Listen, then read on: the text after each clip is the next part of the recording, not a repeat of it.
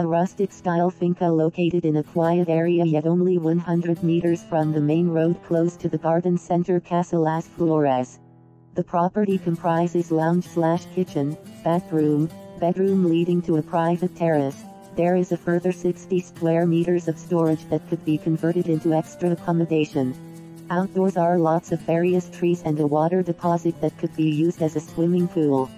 The property has lots of potential and benefits from water deposit and mains electric and solar panel for the hot water.